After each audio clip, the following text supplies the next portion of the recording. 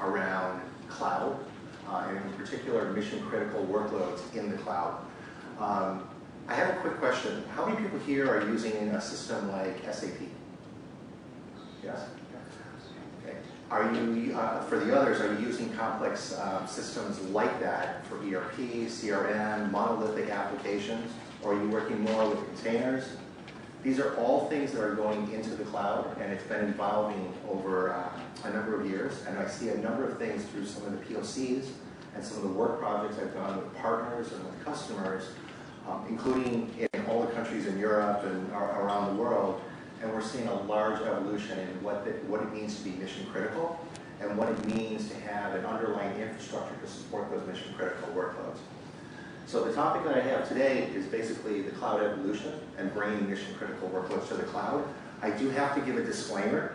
I work at Virtustream, uh, which is part of the Dell family of companies.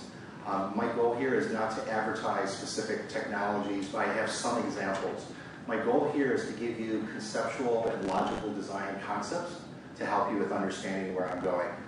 The items that I cover in here are related to the research that my team is doing at Virtustream in both the office of the CTO as well as the uh, ecosystem engineering uh, team. So I'm going to start off just with a quick set of basic uh, uh, definitions that, from my perspective, I see as the evolution and where we got to today. So first off, let me give you my background. Virtustream, I'm a cloud architect, an IT architect. Uh, I'm fortunate to have been one of the first VCDXs going through the process of not just evolving the program, but also mentoring people around the world on the concepts within this area.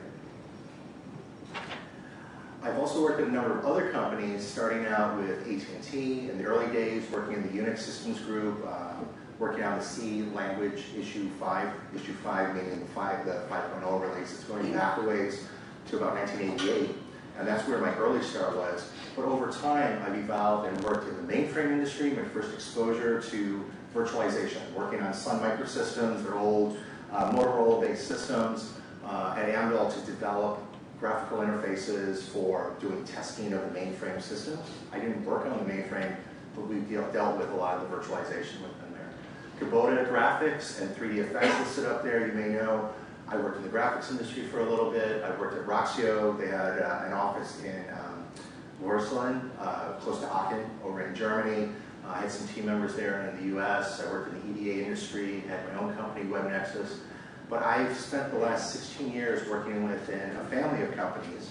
And it's evolved, but I started out at Virtustream, sorry, at VMware back in 2003 where we focused on several things that have become revolutionary. The concept of virtualizing compute at the Intel or the AMD platform. Today, VMware actually now has ESX running on Raspberry Pis or ARM processors, which I find very interesting, especially in terms of industrial IoT. But I moved on to Dell EMC, worked in the CTO's office on some research that I'm going to be talking a little bit about here, which I carried over to Virtustream for the cloud uh, effort as well. Um, a couple of other things, um, I want to give you my background because I don't know if I, how many people here have I met before? Do you guys know, have you guys uh, followed me at all? I'm just kind of curious. I figure there's a lot, for a lot of you, maybe this is the first time you've you, uh, to uh, meet. Uh, these are some of the books that I worked on. The first three were tied to working on virtualization and cloud revolution areas, talking about specifically VMware, but as a VCDX, I'm not focused just on the physical technology or the physical design areas. You know, looking at conceptual architectures to get an understanding of what somebody needs to implement in their environment, moving to a logical design, which has a longer lifetime, and then finally getting into the physical design area where we're doing the technology, the configurations, the vendors, the actual products, and getting to that final stage where you have a limited time there's a life cycle or a lifetime of a specific technology. The logical design first.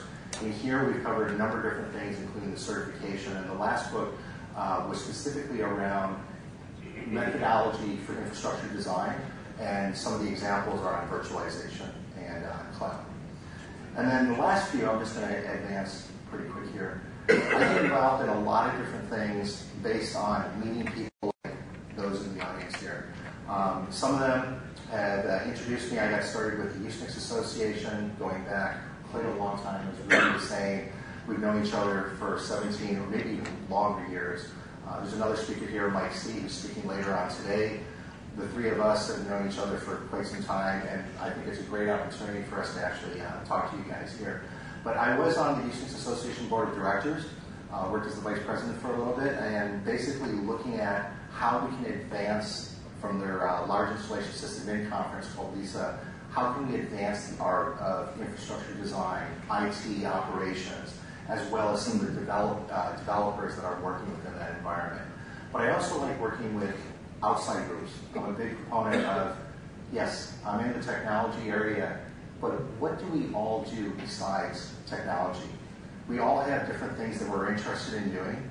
I, um, as you can see here, I'm, I'm very interested. I, I, loved Jacques Cousteau. I watched his uh, work early on, and I had an opportunity to work with his son, Jean-Michel Cousteau, on some fundraising for a project that he was doing for education and working with museums and aquariums to teach and have live interactions while he's out at the boat. Yes, the technology exists today.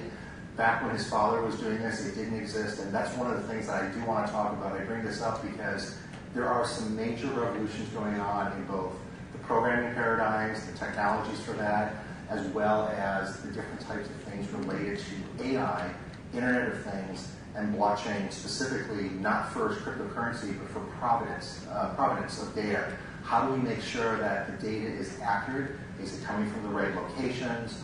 Uh, and so on. so I'm going to give you three examples from the research that I've been doing um, and a little bit of a tidbit of some of the presentation work that I've done uh, this year around industrial IoT. And if you need to reach me, uh, my avatar is because I love playing music. Um, I got a little injury on my hand from being in Barcelona last week, so I'm a little bit out of it right now. But that's one of the areas that, uh, that I'm also excited in. And I do have a question here. How many people here are musicians? Any? Do we have any here? Do we have a few? Cool. So maybe one of these days we can do a little jam. Um, I do have another. I, I play guitar and I play ukulele, so it's uh, a little mix there. Um, I did have another question because this region of the world um, is known for something that I really love to work on, and that's blacksmithing. So I don't know, do we have any blacksmiths in the audience?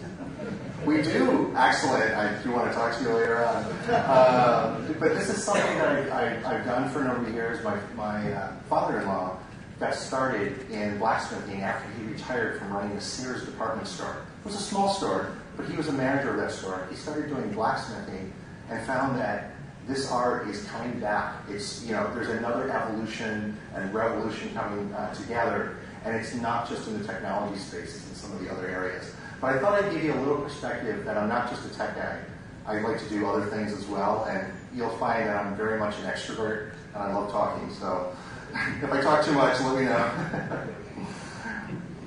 so I kept the agenda simple, to the point, there's a lot more detail that I, am going through. But the idea is where, how have we gotten to today in the tech industry, in infrastructure, and in the type of workloads that we're dealing with?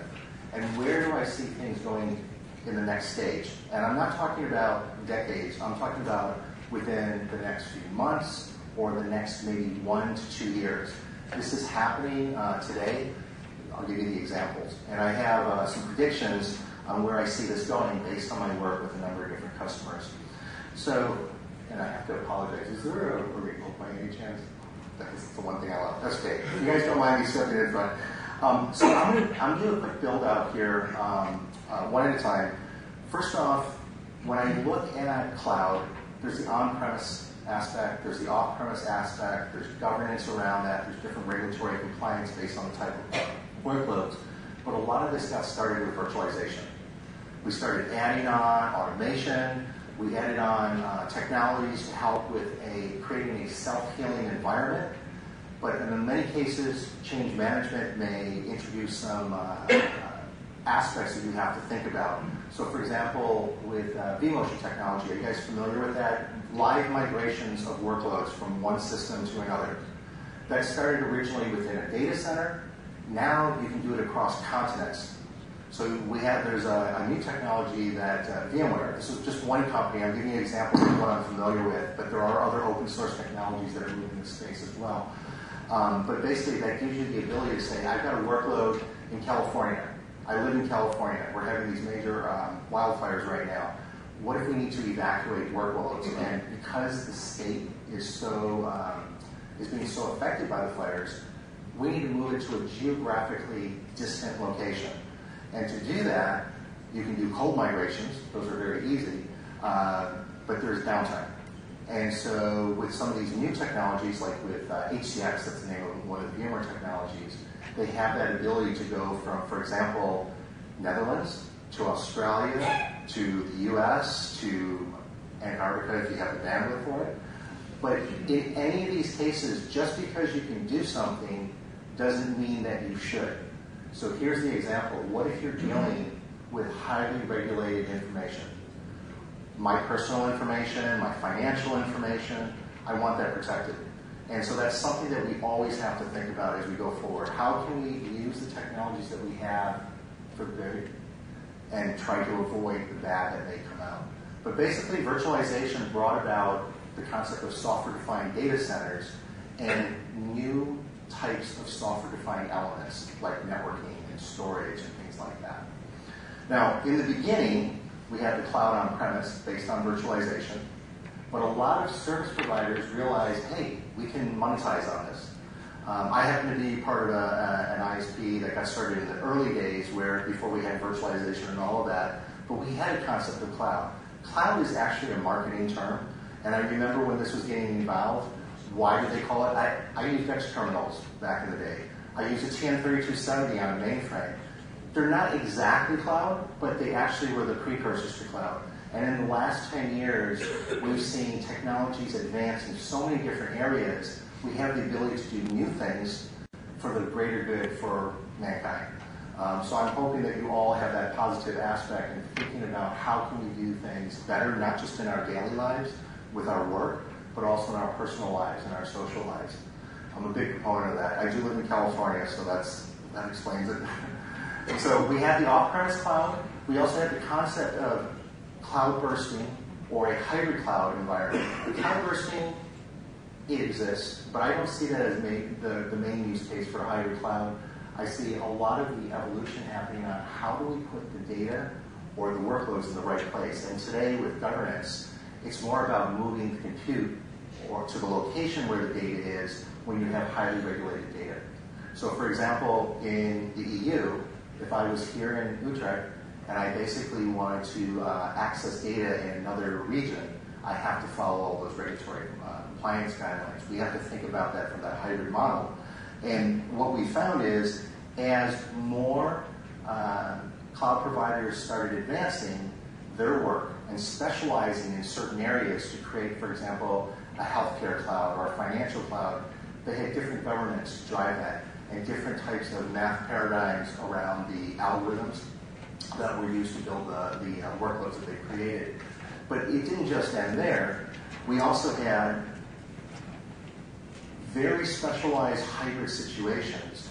So in the healthcare industry, there are now, um, this, and I can speak for the U.S., I can't necessarily speak for all the other regions of the world, but in the U.S., um, we've basically started to see that both the pharmaceutical industry and the healthcare industry are looking at how to be more effective where a doctor can work in their special office, they could go, you know, their own personal office, they could go to the hospital, they could go to another location and get access to an interface to be able to view patient results in a way that actually protected the patient data and protected the, um, the locality of that data.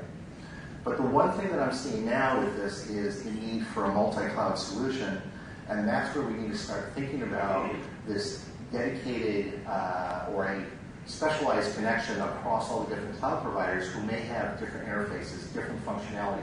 How do we make sure that if a workload from one cloud provider moved to another cloud provider, we'll get the same set of SLAs and the same set of functionality?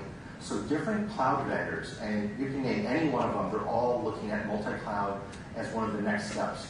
So IBM coined a term many, many years ago, maybe it was decades, uh, called co-opetition. And what we're finding is that competing companies are now having to work together to support the customers. And in some cases, there's a mix of open source and commercial technologies. Um, I have been working in the commercial industry for a while, so I do know a lot about VMware and so on.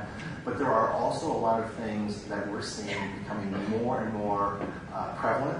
Uh, fortunately, there's some very good talks that are happening uh, today that I'm planning on attending around things like Kubernetes and containers, because these are things that are fundamental for a lot of the IoT, the Internet of Things, um, and how they actually develop programs, microservices, AI uh, workloads that are based on that, and so on.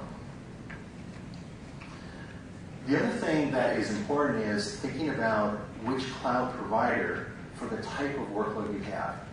So if you have a mission critical workload, will you put that in the cloud? And it's going to be based on governance. It's going to be based on the functionality. Here I'm calling out a couple of these. SLAs are very important. At my company, we focus more on mission critical than on sandbox. So when people ask me how do you compare with, and I won't name names, but you know, whatever vendor you want to pick, I have to say, well, we can compare as a cloud provider, but the type of workloads that we support may not be the same as this vendor or that vendor. So it's based on those workloads, and some of them, just because something may seem cheaper, doesn't necessarily mean that it really is. What is the total cost of uh, ownership, and what is your return on investment? Assured performance is very important. If you are dealing with uh, mission critical workloads and you're in the retail space, or you know online, uh, uh, for example, downtime of minutes could actually cost millions of dollars. Think if Amazon were to be down uh, from their uh, commercial side for just a minute or two, how much revenue would, would be delayed or lost because? So these are things we have to think about. Integrated backups, high security, regulatory compliance, and geo compliance requirements are becoming more and more important. They've always been important, but now that we have the ability to move workloads vast distances live, we have to make sure that we got the right governance to ensure that we don't run into those issues that uh, when you cross certain data across boundaries will cause. Um, we're using a technology from VMware called NSX.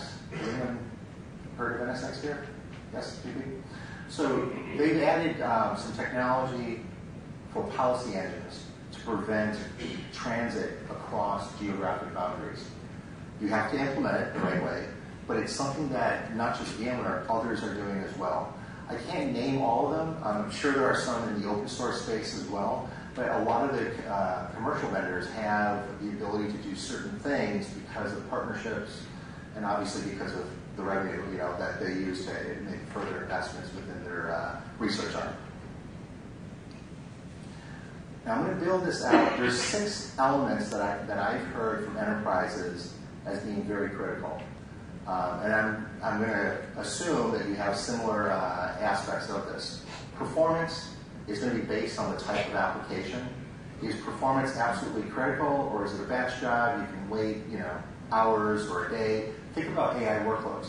Training uh, of a deep learning workload could take hours or days on these very high-end processors, GPUs, GPUs, video processing units, and so on.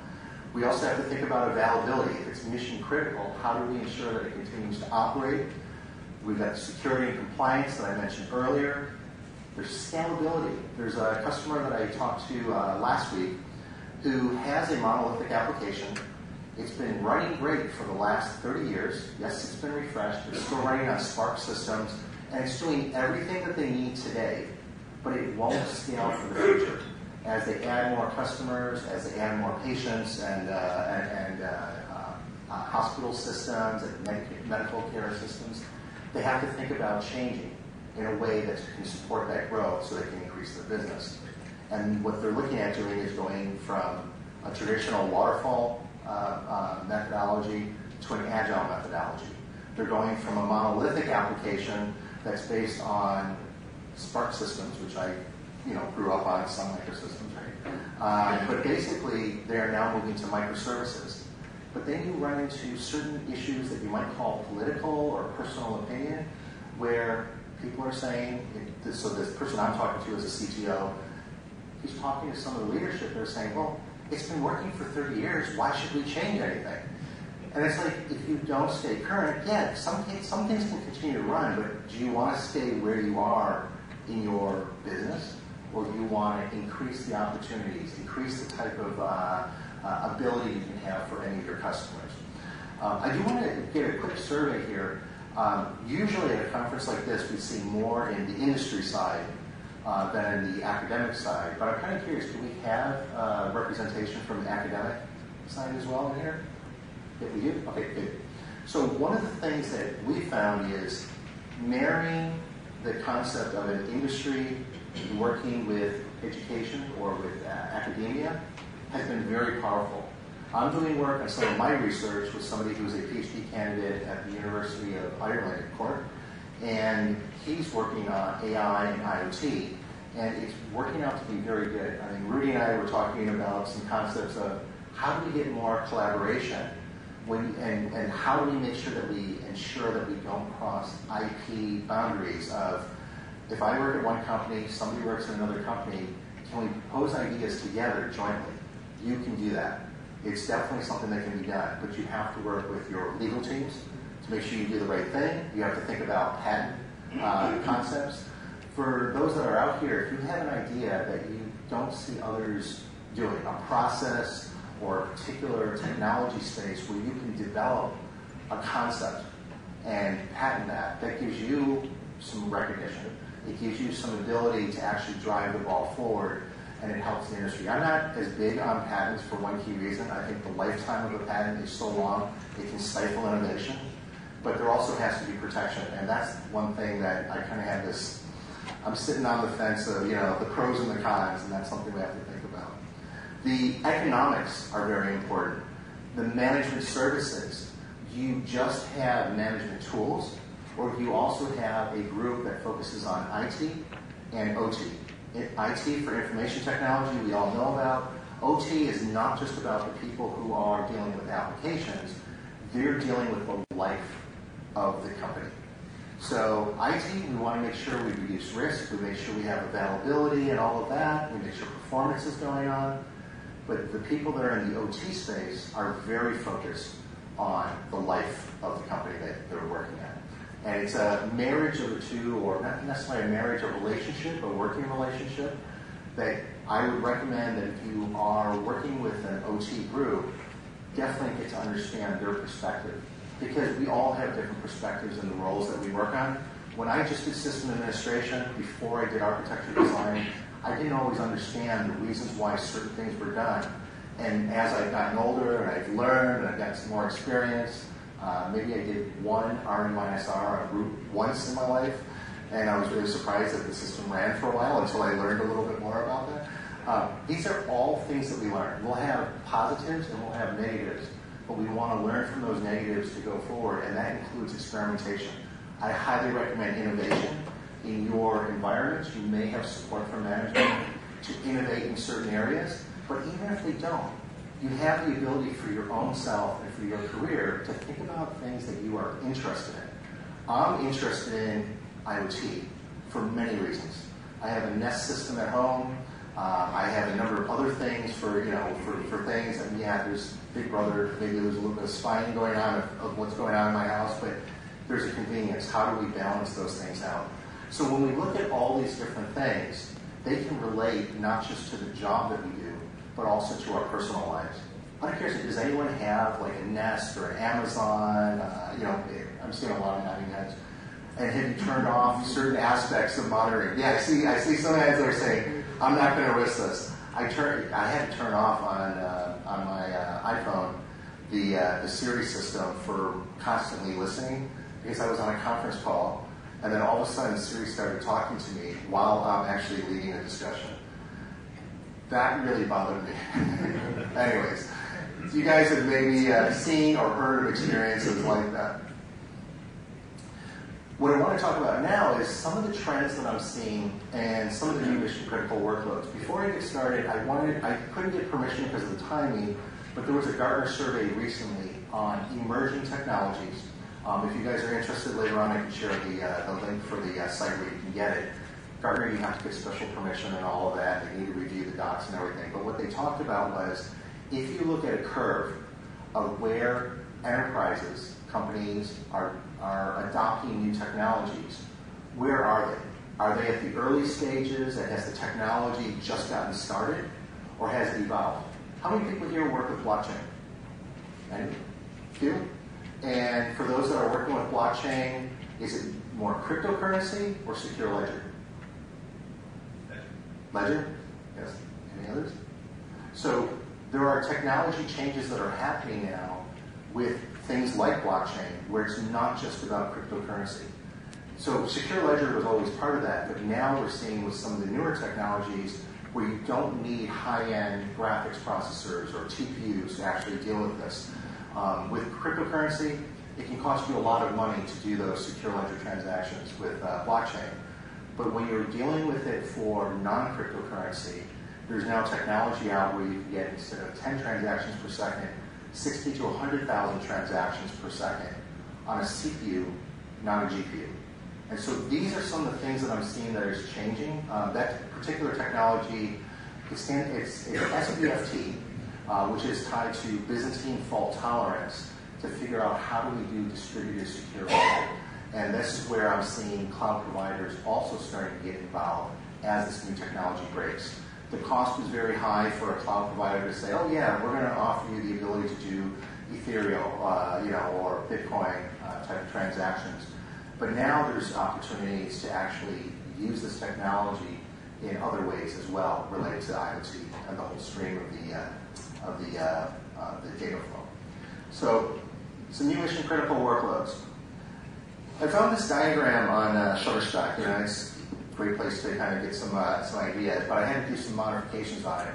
What I want to do is kind of show what the future holds. So in here, I'm showing things like AI and, and uh, deep learning uh, for doing predictive modeling, you know, creating inference engines.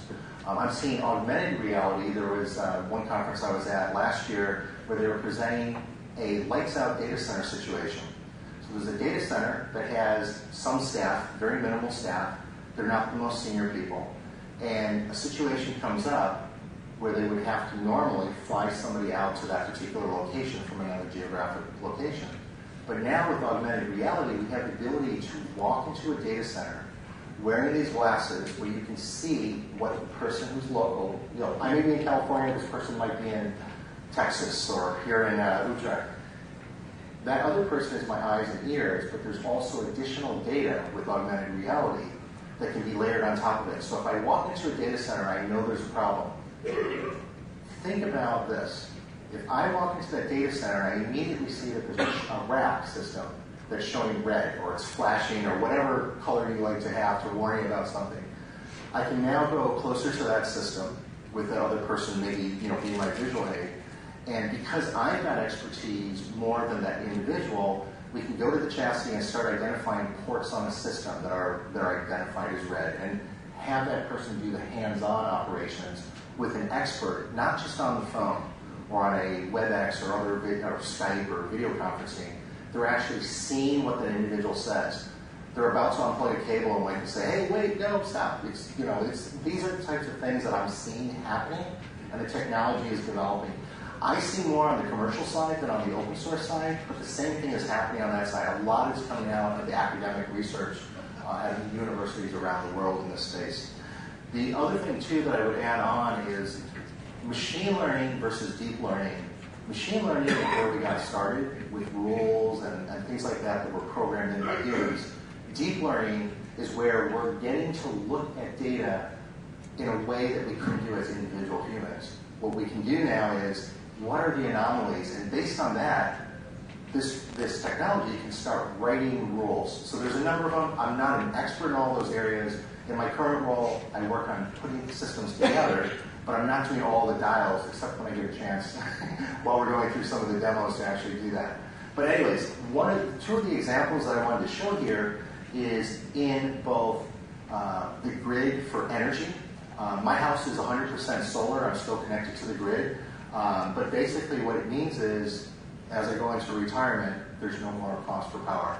I'm curious, how many people here are using alternative energy, either wind turbines or solar? Cool.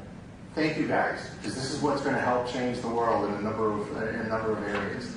Lower pollution, and whether or not you believe in global warming, I do believe in it because I've seen this. I've seen the results of it. Whether it's man-made or not, I'm not going to argue that. But I do see that what we can do every day in our lives, both in the computer industry and also in our own personal lives, to help.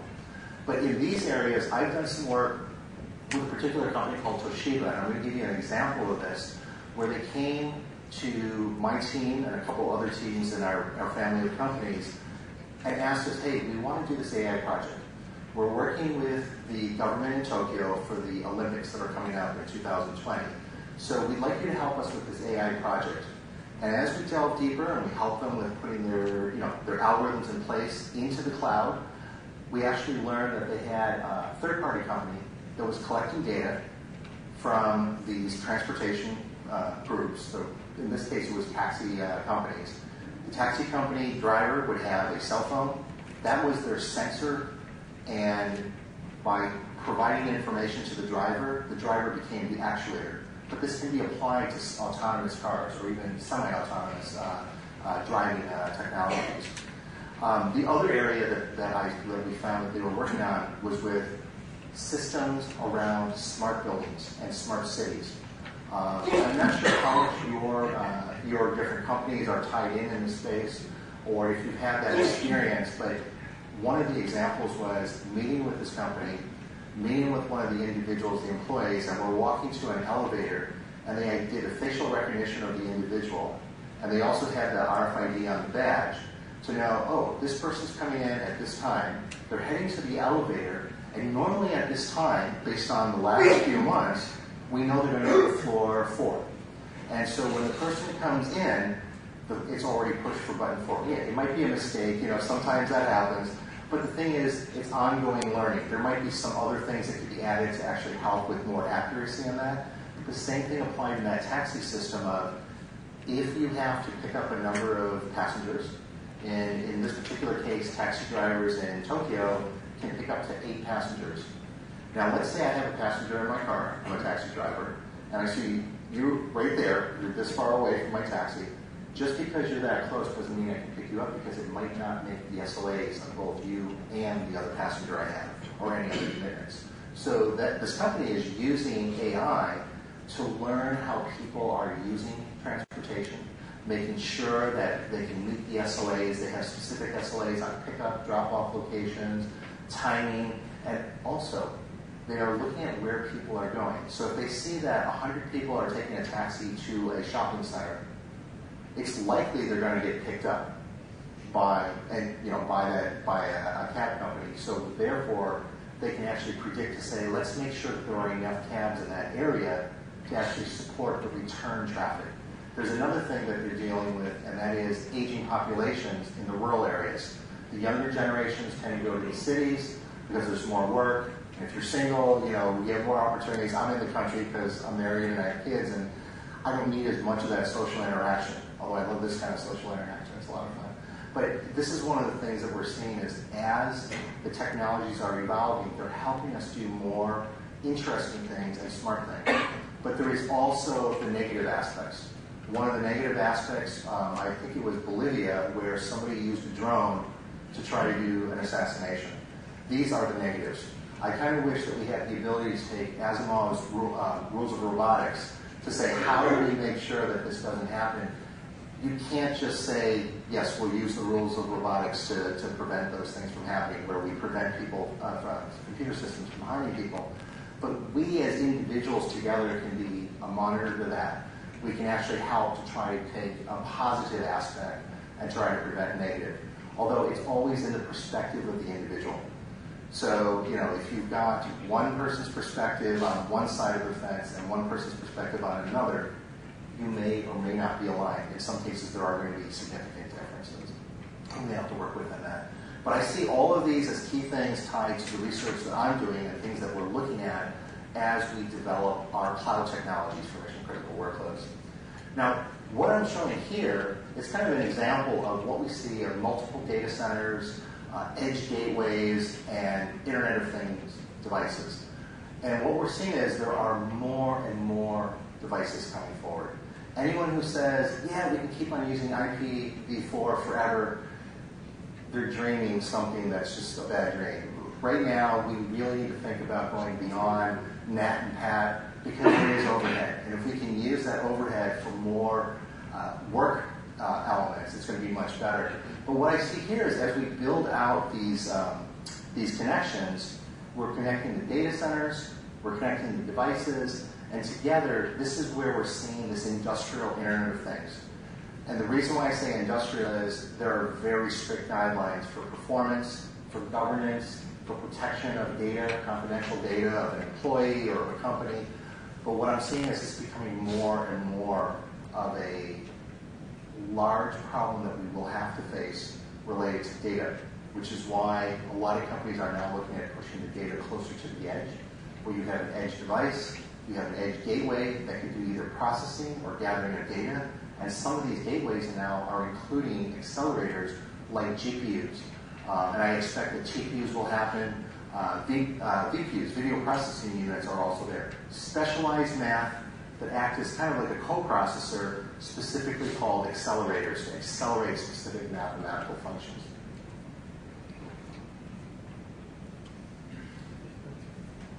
So I wanted to give a couple of examples here. And I'm going to go into a little bit deeper dive on one of these. But we've got AI becoming more and more prevalent. And the cloud works very well because if you have to build out on premises, what is your cost of ownership? How many GPUs or other types of accelerators do you need to have on premises? We actually did a POC, the one I mentioned on transportation, where um, we used two NVIDIA uh, T100s to help them with processing, and we actually were able to cut uh, the processing time from 12 hours down to about two hours. And with further refinement, it could probably get faster. But when we first started putting these workloads in this environment, we found that instead of using the GPU, they were using the CPUs. And it's the how they did the programming. And so we actually worked with them to get them to use the GPUs, and then we found it was single-threaded. Well, we got two GPUs, they're $8,000 each. We want to be effective in our processing and our total cost of ownership. So we worked with them to figure out, okay, why are you serializing it? And it's like, well, that's what we've learned from XYZ, you know, on the internet. So not everyone has a full uh, group of data scientists. We may have people that are developing AI and IoT related stuff by pulling stuff off the net. You have to understand the workload and you have to understand the resources you have to be effective on that cost. How do you make sure that when you're doing the deployment, are you using it effectively? So these are these are programming 101 types of concepts. Make sure that your workloads will fit the type of resources you have. But what we found in that particular situation was they were getting maybe uh, an improvement of a small amount. So they went from 12 hours to 11 or 10 hours by just using the CPUs that we provided because they were newer CPUs, they had more memory, more caching. But once they started using the algorithms in a way that were designed for the accelerators, that's when we saw the major improvement. And that's why it's a combination of IT working with OT. The OT people are the ones that are developing those AI uh, type of uh, uh, systems. The other uh, area is in genomics. In genomics, I'm not seeing companies in healthcare or in um, specifically for doing genetic uh, related uh, information around DNA, looking at figuring out how do you repair a problem within your within a particular DNA uh, sequencing, what can be done. Uh, we have to be careful for many other reasons, but the one thing I wanted to focus on is they're not just using GPUs, now they're actually looking at FPGAs. So FPGAs require you to program in Verilog. You program it, you may reprogram it, but they're finding that that was the most efficient way. They got rid of the extra stuff that you have in a GPU and stayed focused only on the functionality they needed for the genetic uh, engineering or the DNA sequencing. Cloud robotics is another area. How many people here have a car that has LiDAR so you can sense where you are in a lane? I mean, we, we have a Highlander uh, hybrid, and in there, you know, it can detect are you moving out of your lane, give you a warning. It can do other things uh, that are getting closer to, you know, things that you need for autonomous systems for, for a car system.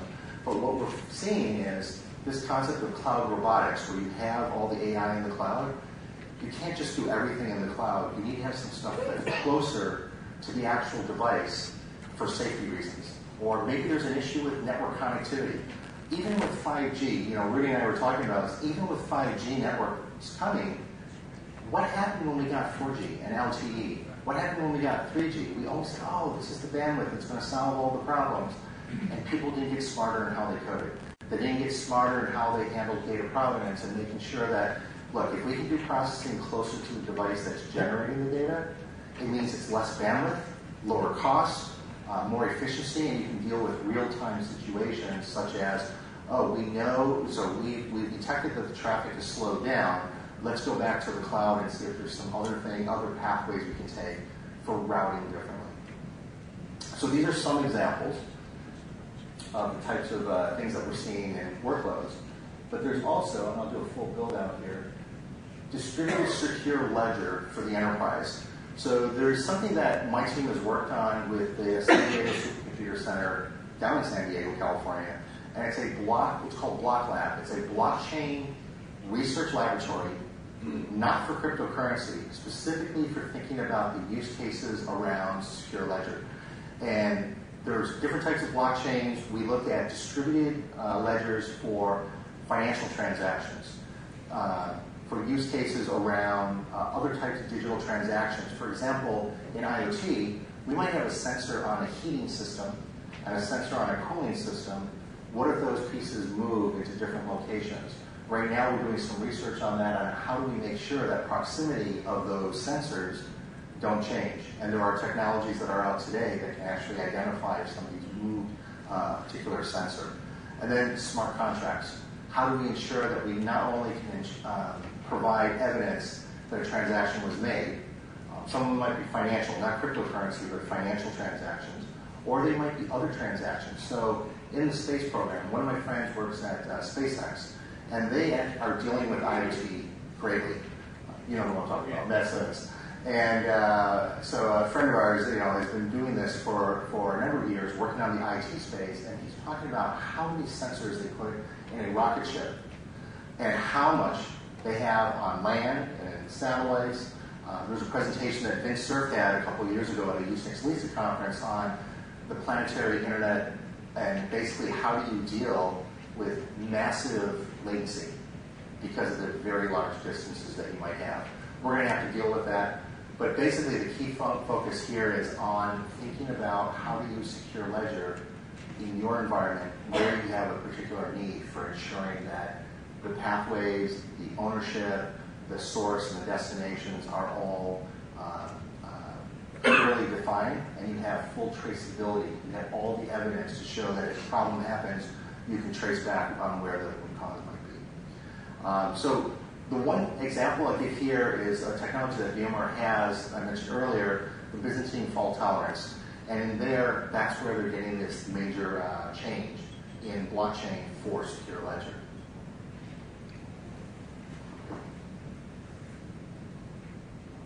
So what I want to do next is talk about three example use cases. Transportation is one, security is another, and healthcare is uh, a final one.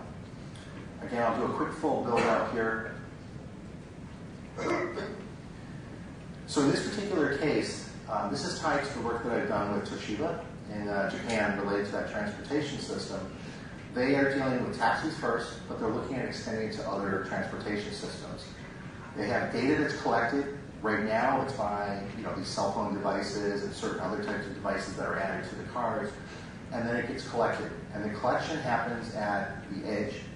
And at the edge, we use some compute so that when we send the, the uh, most important data up to the cloud, we ensure that we minimize the total amount of data because of the cost.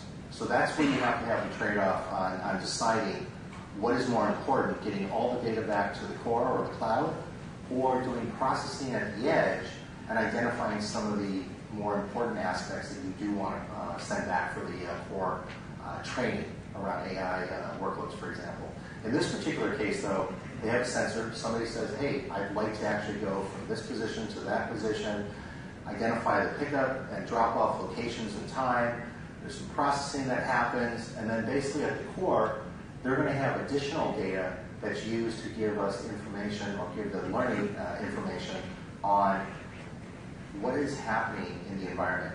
Is it a rainy day? Is it snowing? Is it sunny? That may affect traffic. Is there any construction going on? Given that they're planning on the Olympics, they're thinking about how do we ensure that we don't run into some of the situations that has happened at past um, uh, um, uh, Olympics or other types of uh, big events. And that is working with the government for sharing certain data about construction.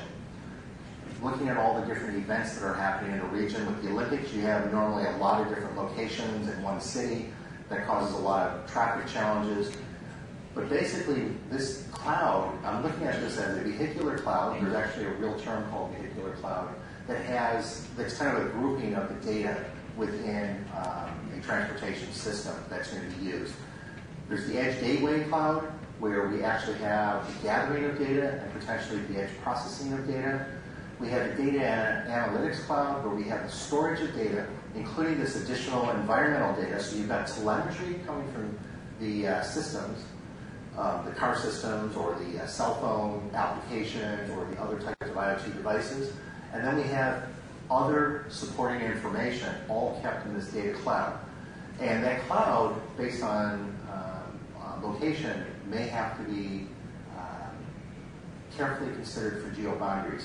In the case of uh, this particular project, there are 50 something districts in the city of Tokyo, and a taxi driver is not allowed to go across certain lines because of their rules and all that other stuff. But basically, what we found is that in this environment, there were exceptions to those rules, and they're looking at putting the processing into the algorithms to actually support that particular use case. And of course, the last area is looking at the user interface. Um, I'm wearing an analog watch. When I travel, I do that so because you know smartwatches tend to run out of power. Uh, but there's also other uh, aspects for that. But when we look at things like this and healthcare and others, there may be smartwatches that are also gathering telemetry data on your location. So maybe your app works with your smartwatch to actually share that information back for the algorithms, for the training algorithms, and the inference algorithms that are used. So this is one case that we just completed the POC on, and it was a very successful project where we did learn that there's a combination of what the IT team needs to do to support these types of workloads and what the uh, use cases are, but it also is important for looking at how we handle the data and the data provenance so we make sure that the data does not transfer on particular geographic boundaries. The next use case is on monitoring and control from the edge. So you'll notice I've shown some similar diagrams here. This is what I kind of call the cloud of clouds. Specific clouds for specific uses that may have specific uh, governance, specific regulatory compliance.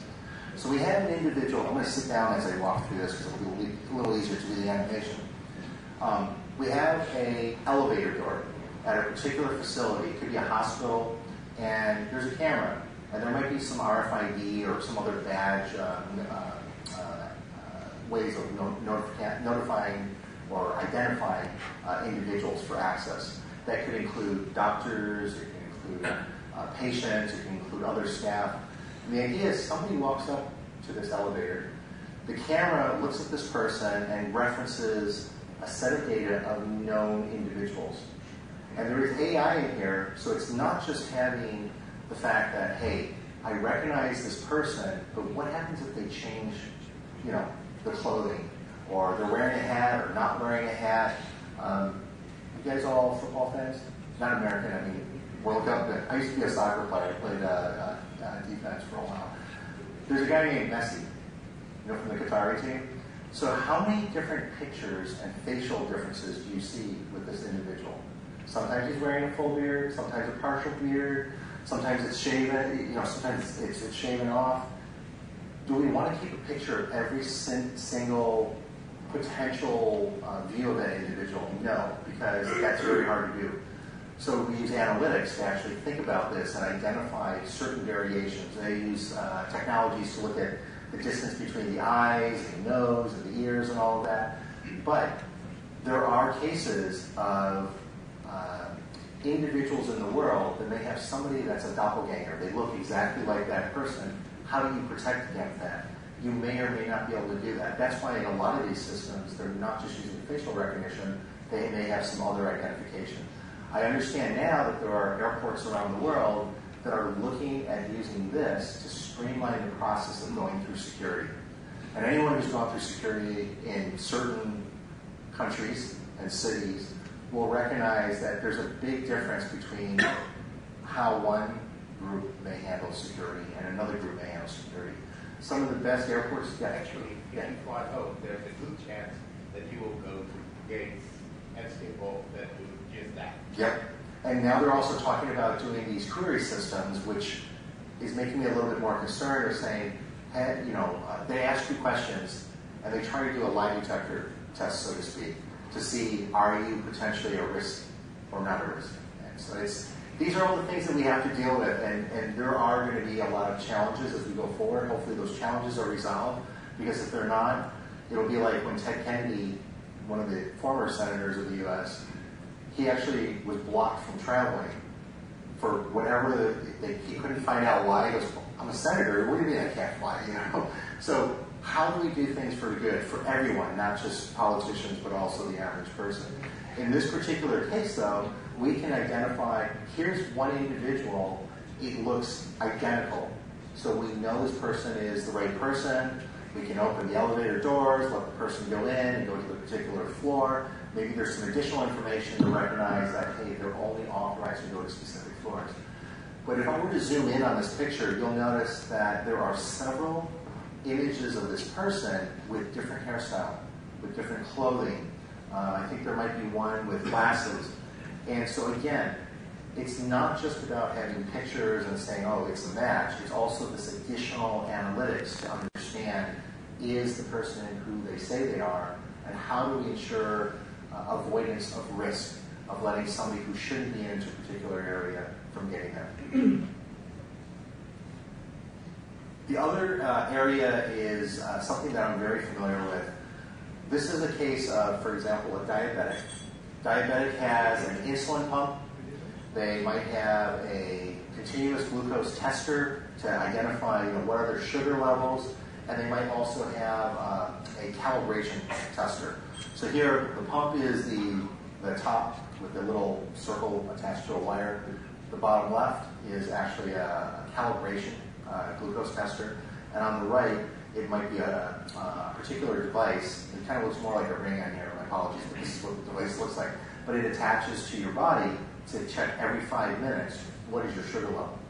And so this actually gives a reading on a specific area to ensure that this patient gets enough insulin and not too much insulin during the course of the day. And then this information, all these devices are Bluetooth based.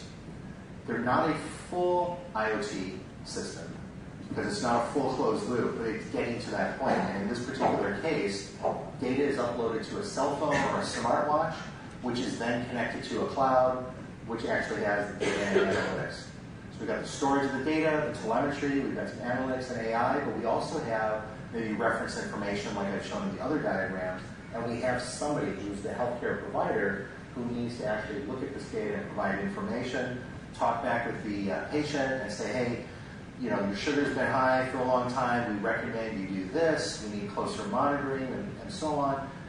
But by itself, although this is good, there are other things to think about. What about adding on other devices? You know, is the patient overweight? Does the patient have high blood pressure? Is the person diabetic? Well, maybe the prescriptive care says, hey, we need to lose weight, or we need to be careful about what you're consuming and all of that stuff. Those these can all be used together. And then there are the correlation engines that are used to actually look at data, new data, to figure out what is the recommended next steps in this particular scenario. So this is actually one of the ways that healthcare is looking at proactive, um, uh, proactive healthcare to reduce risk. There are even capsules that they have now that you can swallow that has, uh, I don't know if it's RFID or if it's uh, you know some other mechanism, but they're very small and they can actually monitor your digestive system to give additional information that would require intrusive uh, mechanisms. They might they require some well, I won't go into the details. They're, they're not fun details. So, AI data flows. Where do we see a cloud fit with AI, which is being used to drive IoT? There's cloud for edge components, where we have the sensors and the actuators. We might have the edge gateways and analytics, which I'm showing to the right of this because in some cases it may bridge or, or overlap with uh, you know, the other uh, cloud. I'm showing here two cloud figures, but there may be multiple clouds within those cloud environments. So this is kind of a build out of what that AI workload looks like, specifically for deep learning. Machine learning, humans write the rules. Deep learning, the machine has some starting rules, and then it learns and writes new rules. And so I see this as having clouds for the edge, clouds for the data storage, and clouds for the accelerators working together. Again, I do think it's a cloud of clouds where you have specialized clouds for specific, specific applications. And another area is looking for a platform for AI as a service. You might have a set of modules that can be used to build a model for analysis. We have telemetry data, we have reference data, and we have, on the far right, a set of accelerators to actually run the specialized uh, math for that. And of course, an interface, you can interface with other types of applications that work in that environment. So I'm in the tail run. There's a few more slides here. Uh, I wanted to talk about some of the new hardware and software uh, elements for the cloud. So in the work that I've been doing with IoT and AI and blockchain, we're seeing that there are new storage technologies, there's new networking technologies. In some of these cases, we're increasing, for example, on networking bandwidth, both wired and wireless. But you know, I remember the old days when people were programming in assembly and, and C and trying to make the smallest code possible to do what you needed to do. Sometimes you get what's called obfuscated coding where you can't always read everything that you see, you know it's doing the right thing, but what's happened over the years is as systems have gotten faster and as um, we have more capabilities for storing larger amounts of data, people don't always write for code size and efficiency as they used to, unless you're dealing with, for example, the space program. You know, that's, that's, that's one area where you can't just add more systems. So these are some of the technologies I see on storage and networking. On the compute and memory, GPUs have become more and more prevalent, not for just for desktop, but also for AI and certain types of math. The one thing that's interesting is, you know, you hear the comment of, you know, is a GPU better than a TPU? TPU is focused on tensor processing versus, so basically you can do the AI workloads directly without all the additional graphics.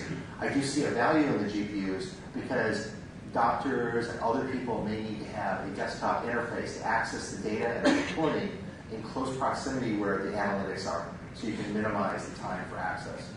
Um, there's newer technologies around memory that I've listed up there, but the big thing is today we're seeing a massive change in how we look at hardware and these software-defined defined technologies on top so we can be more agnostic in our programming and be able to use different types of underlying processors. I mentioned a little earlier uh, how some companies are moving to multiple different types of processors. ESX is now running on um, ARM processors, and that came out of their early research on virtualization for cell phones. Unfortunately, Apple wasn't very big on running uh, iOS on non-Apple devices. Other vendors, same thing. But they took that technology and then they applied it to Raspberry Pis. I saw some great demos last week around that, and very exciting. But there are a number of things that I listed here, software defined in a number of different areas. And then on the far right, this concept of functions as a service or function as a service. The telco industries are very big on, on this. How do we reduce the risk within our uh, central offices and our core um, telco uh, data centers. And that's what they're trying to do is do software defined in this area so they didn't have to use very expensive proprietary systems. Actually, I'll give you one example. In many cases in the telco industry, they have to have redundancy. And the redundancy is not on the order of dollars or hundreds or thousands of dollars. It's on the order of tens of thousands of dollars or tens of thousands of euros or even millions uh, in that case. Evolution of cloud roles, really important, as I said before, to think about IT focusing on protecting the environment and OT looking at protecting revenue generation or the things that make a company successful or a business or a particular organization successful. The other thing I wanted to show you, I'll do a quick build out, is an example of one other technology that uh, VMware is working on with a number of other partners, including IoT areas. They have this technology called Pulse uh, IoT. They have, um, so, the, the, so you see here where it says L, this is called a little IoT agent that actually is used to manage some of the edge devices. And what we have is a set of devices. We have these edge intelligent gateways. We might have um, micro DCs or a core data center at a particular location. Think of a university, lots of buildings. So we might have these two areas, you know, the edge gateways and the things in each building, and then we would have the core maybe at a particular campus location or several campus locations, but the data center might be in the cloud. And as we go forward, this particular technology has these pulse IoT uh, technologies to do the management of the stack. You can see through the arrows of what the different combinations of these four sections would be covered, and that's going to be based on your environment. I do see cloud providers moving forward and maybe adopting technology like this to actually help customers uh, deal with uh, IoT and managing it from all the way through. I think just have two more slides. So, do a quick build out here.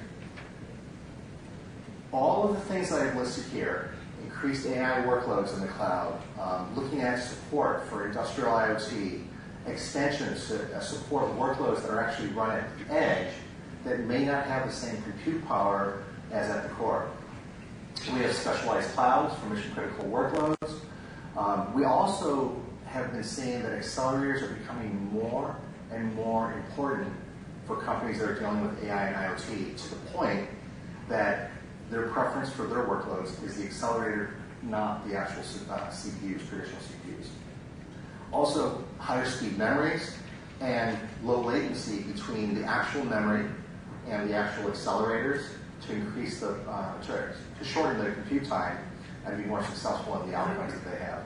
And then the final area is on looking at IoT, looking at how that generates a lot of data and how it can consume the resources. Just because we have more bandwidth, we have to be efficient in using it or we'll run into the same situations we've had previously. This here is a quick build out of conceptual architecture that I've been working on within my family of companies on new technologies for compute, storage, networking, as I mentioned before, but now introducing accelerators and intelligent as well as embedded gateways. Embedded gateways have CPU, intelligent gateways have graphics processors or other types of accelerators. And then we see this cloud of clouds. We got an example of a security camera that's actually sending data to an edge device cloud. It's basically um, a embedded gateway, for example. And in that case, it would then use that as the gathering point and share it with the other data to do the processing, to do the analytics, to do the uh, reference uh, uh, information to build the inference engines. And of course, we need to have governance and compliance across all of these areas. Now, so the last thing I wanted to leave with you are a couple of things that I think are very important. As technology has been changing, we've seen converged infrastructure. But what is becoming more important is this concept of declarative infrastructure, where you could plug and play different devices. There's a company called Liqid that has a PCI uh, gateway device with a chassis where you can have different types of PCI devices put into a physical or virtual machine with full security boundaries around that access. We also see secure distributed ledger for data protection. These are some of the things I would recommend you taking a look at because they're becoming more and more prevalent, more and more important, and more uh, uh, enterprises are adopting that. And then looking at how cloud orchestration models, how do you actually deal with deployments and management and ensuring that all the pieces work well together, given there are more and more pieces that are coming into play as a system. And the last area I wanted to leave with was thinking from your perspective. I led with this in the beginning of how do we use this for good?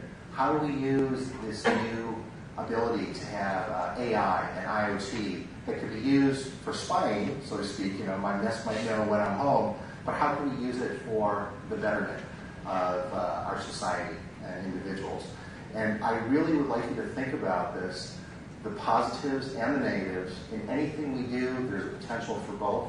But I want to think, I want you to think about automation and how that fits in with AI, because the automation, if it's not programmed right, it's garbage in, garbage out, and we might have some very negative outcomes from that. And so I think with that, um, I'll close out on that. And I'm not sure if we have time for questions, but if not, you know, we can do it afterwards. But I want to thank you guys for having me coming out. I hope this helped educate and give you some inspiration on some of the ideas uh, around some of the new technologies, and also thinking about how do we work together to actually improve not just the technology space and the things that we do daily, but also our society and our environment. Thank you.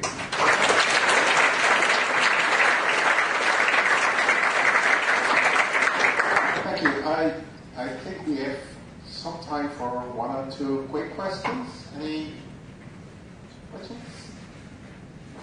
Please. Yeah. Uh, We get on the recording. Hi. Thank you for um, the peek into the future, and uh, it's exciting. Uh, but what I, I would like to know your opinion: Do we do enough to prevent any? Um, um, how do you say that? Uh, the security-wise, um, that we prevent. For instance, uh, we did not know that they could use airplanes to bomb a building. Um, what what are we getting here, and what's your opinion about security-wise? Well, I, I'm a believer of security first in everything that you do because trying to re-architect things are challenging. But in this particular case, there's the social engineering aspects, and there's also the concept maybe of remote control of the planes. So if a terrorist situation were to happen, could you prevent the plane from crashing into something? But the problem is, it could also be used for the negative, not just the positive. You may not be able, to, you may be able to fix some situations, but what if you have somebody like a drone operator who's got a bad intent, who's actually the person who's trying to control that? I, I think it's that I flew, so there were a couple of weeks where we couldn't fly. I actually was in Germany. I flew to Germany three weeks after uh, September 11th uh, attacks. And what I found was, yes, there's increased security, but being a frequent traveler, I do know that there's a lot of visuals that make it seem like it's safer, but knowing that if I do certain things, it may not raise a red flag. But if I do other things like change my flight at the very last minute, most likely I'll get you know security scan. I'm not quite sure that we have done everything we can do to solve those types of problems because it's a mix. I think more on the uh, social side uh, and how do you actually identify individuals without compromising your uh, your rights or your your uh, ability to be uh, misjudged. We don't want people to be misjudged, but at the same time, how do we protect it from happening? That's something I think is still evolving, and I think it's not quite there because there are decisions that are being made that visually may look good to a majority of people, but those of us in the tech industry or who do a lot of travel recognize that, hey, you know, this is visually appealing to the masses, but I keep going through my mind of, you know, I hope some of the bad people aren't thinking, you know, the ideas that I, I see as being the problem areas. so, yeah. Okay. Any comment? Okay, thanks. I'll be around all day. More than happy to talk some more. during the Yeah, so there's coffee.